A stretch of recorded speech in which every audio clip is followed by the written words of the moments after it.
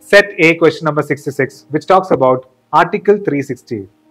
If you have been following the recent elections closely, you might have heard the buzzword Charso Par or why is it dangerous? It talks about the amendment of Indian Constitution. So the question was the parliament may amend any provision of the constitution by way of addition, variation, repeal.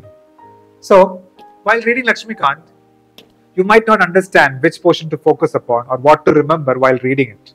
So the question provides a framework to what to remember, what to focus upon, and what to keep in mind while reading that particular portion. For example, Article 368. The question in test number 657 says, the first statement says, Article 368 enables Parliament to amend, repeal, or add, addition, variation, repeal.